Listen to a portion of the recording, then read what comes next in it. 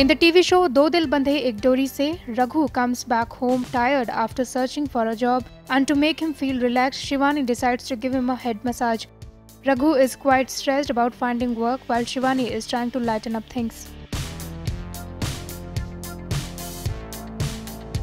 Shivani expert है क्योंकि वो ताजू को बचपन से चंपी करती आई है तो उसने सोचा कि रघु थका हुआ आया है काम ढूँढने गए थे तो वो थके हुए आए हैं तो सोचा उनकी थकान मिटा दें, चंपी देखे।